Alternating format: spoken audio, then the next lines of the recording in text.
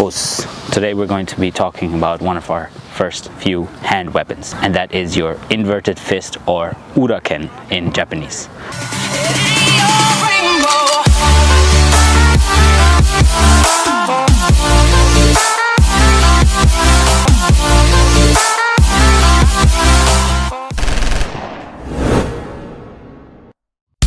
This basically means that your hand is with your backside up and basically your fist is closed and so from the uraken you are using the back of your hand to thrust okay? So it's more of a strike than a thrust.